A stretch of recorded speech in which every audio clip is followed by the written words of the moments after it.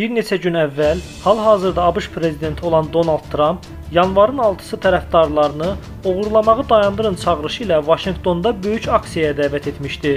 Aksiya başlayandan bir müddət sonra isə Trump seçkilərin nəticələrinin ləğv edilməsi tələb etmişdi. Trumpın təklifi rədd edildikdən sonra etirazçılar Konqresin binasına hücum ediblər.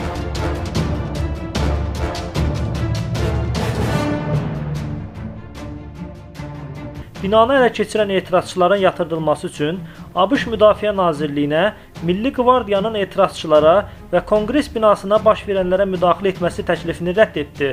Hal-hazırda ən yeni və heç harda olmayan görüntüləri sizə təqdim edirik.